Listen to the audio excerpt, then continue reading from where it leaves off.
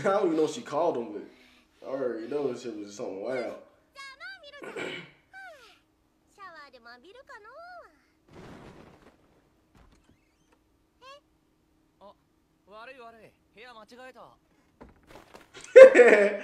that nigga dumb. Sorry, I got the wrong room. I'm just gonna walk in and close the door.